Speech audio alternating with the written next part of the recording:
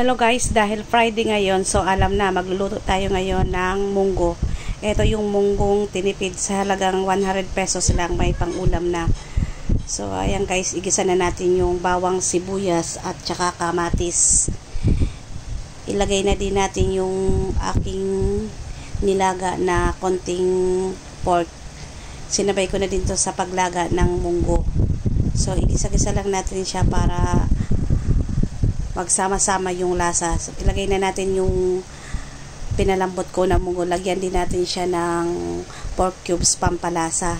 So, ayan guys, kumulo na. Lagay na natin yung dahon ng ampalaya. So, ayan, malapit na siyang maluto. Lalagay ko na rin yung ating chicharong baboy para mas masarap at malasa. So, halo-haloin lang natin to at titimplahan natin siya ng konting patis. So ayan guys, luto na yung ating munggo. So anong ina sa ano pang inaantay? Kaina na. Ayun lang guys. Bye-bye.